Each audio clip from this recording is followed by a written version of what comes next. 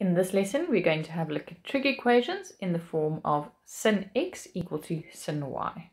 Our third type of equation is where we have sin theta equal to sin alpha. So here, the trig function on the left and right are both the same, so this can be cos or tan as well, but the angles are now different. Before we start looking at an abstract example, I want you to have a look at this given example. Using your calculator or your known angles, you can go and calculate that sine 30 is equal to a half. Now we have our standard form and this means we can go and calculate our reference angle and that will be 30 degrees. Next, we can split it up into the quadrants where sin is positive, so the first and the second quadrant. And in the first quadrant, we will have 30 degrees plus k times 360.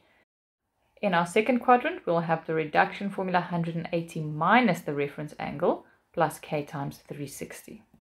And if you look at what we calculated now, you will realize that we did a bit of unnecessary work because the reference angle of 30 was given right at the beginning in our equation. So when the trig function is the same on both sides, that angle that is given, whether it's a constant or a variable, can immediately be used as your reference angle. Let's go and have a look at an example where that angle is a variable. Example 1. Determine the general solution of tan theta plus 10 equal to tan 2 theta minus 30. Here we have an equation where the trig function on the left and on the right is exactly the same and therefore we can accept that the angle that was given there on the right will then be our reference angle and that means that our reference angle will be something abstract and not something that you can calculate using your calculator. And now we can continue following our normal steps using this abstract reference angle. So our next step will be to determine the quadrants that we're going to work in. And here we are working in the quadrants where tan is positive. So that will be the first and then the third quadrant. Next, we are going to add our correct reduction formulas. So when we start off in our first quadrant, the angle that we want to calculate is theta plus 10 degrees. And our first quadrant does not need a reduction formula, so it's simply equal to the reference angle of 2 theta minus 30, and we add our k times 360 degrees. In the third quadrant, our angle of theta plus 10 is calculated using our reduction formula of 180 degrees plus our reference angle, and the reference angle is 2 theta minus 30 degrees. Our final step is to simplify, and because we have an abstract reference angle, there will be a bit more simplification to be done. So here I'm going to move my thetas to the one side and subtract 2 theta on the left to end with minus theta and subtract 10 on the right. So it's minus 40 degrees plus k times 360. And then I have to divide by that negative to get theta, and that will then be 40 degrees minus k times 360.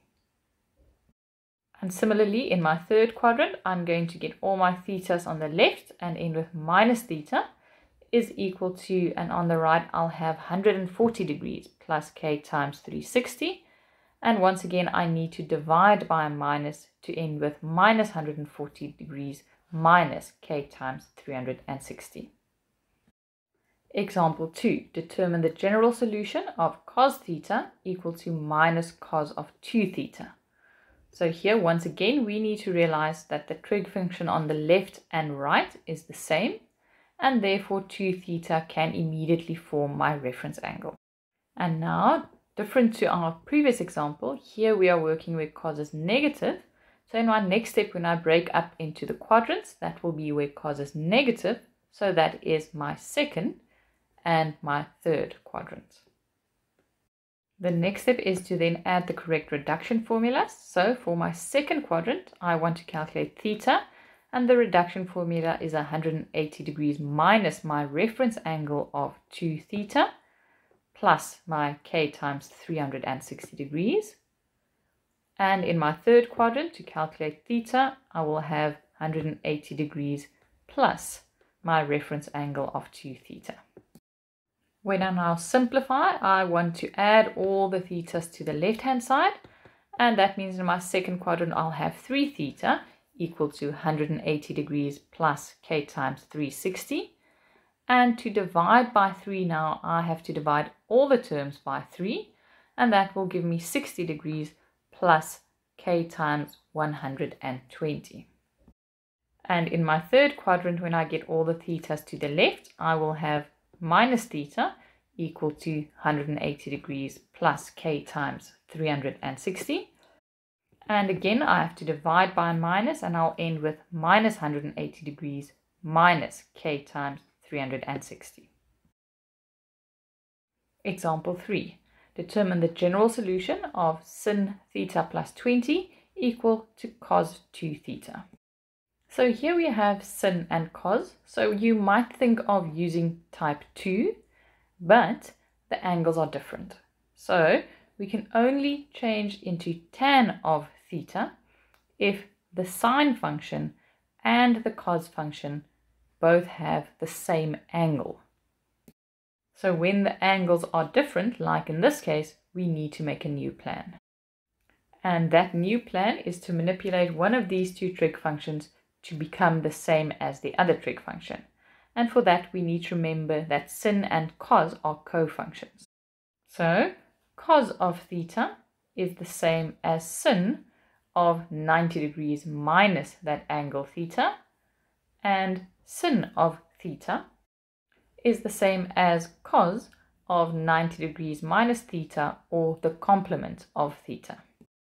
So in example 3, I'm going to keep the left-hand side written in terms of sin.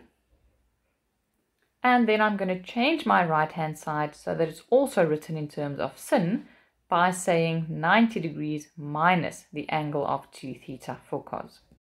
And this one extra step ensured that we now have the same trig function on both sides. And that means that 90 minus 2 theta can be my reference angle.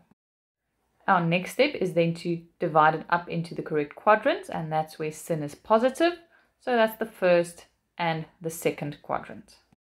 So in my first quadrant, when I want to calculate the angle of theta plus 20, there's no reduction formula needed, so it's simply equal to the reference angle of 90 minus 2 theta.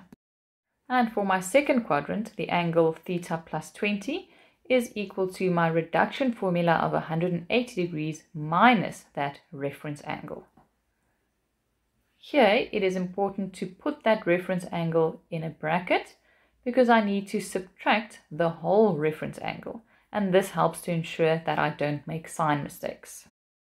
In my first quadrant, if I now move all my thetas to the left, I'll have 3 theta equal to 70 degrees plus k times 360. And in my second quadrant, I'm first going to multiply that minus in. So I will have 180 degrees minus 90 plus 2 theta.